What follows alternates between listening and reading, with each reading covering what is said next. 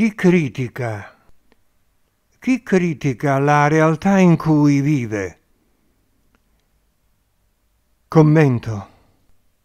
Una creatura che appartiene alla vasta fascia della media evoluzione può criticare la realtà in cui vive, che è il frutto della sua stessa creazione e di quella di tutti gli individui che hanno un'evoluzione affine alla sua.